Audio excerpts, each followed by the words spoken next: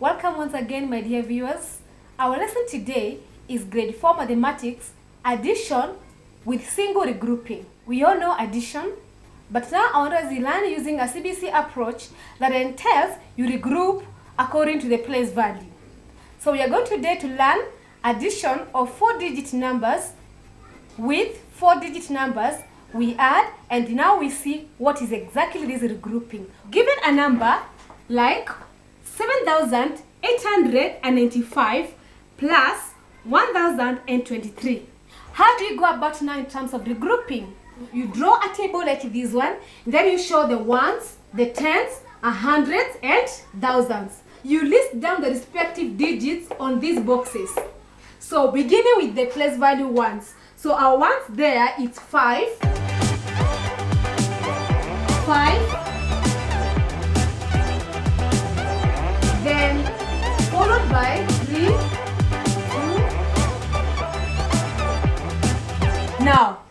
start now doing the real addition. 5 plus 3 is 8. You write 8 there. 9 plus 2 it's 11. These are 11 tenths. 10 tenths makes 100. Therefore, when it comes to list it down, we are going to list that one 10 for 11 and the other 10 we carry it or we'll group it into a hundreds. So how do we go about that? That one, we are grouping it and taking it to the a 100 side because you said there were 11 tens. So how many tens makes 1 100? 10. So we add our 100 there. So 1 plus 8, it becomes 9. And now we list 9 down there. We have regrouped tens and hundreds. Now we proceed to adding the thousands. So 7 plus 1 is 8. And that is what we call addition with single regrouping. This one, we get it in grade 4 mathematics as a new concept. Now, let's now do our second example with what we call single regrouping. For instance, if you are given a question like 6,372 add 1,251. Now, we list down our digits according to the place value.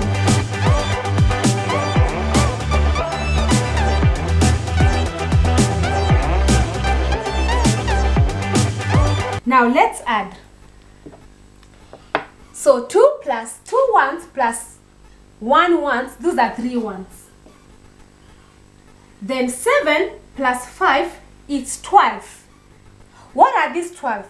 These are 12 tens. Remember, in the 12 tens now, we are going to regroup it into tens and a hundreds. So, why do we write 2 here and carry 1? Where does this 1 come from? Remember we are saying 12 tens. And 10 tens makes 1 100. And in the 12, we have 10 tens. So when we add the 10 tens,